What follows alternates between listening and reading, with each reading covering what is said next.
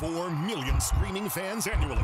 America's biggest family entertainment spectacular is coming down under for the first time ever.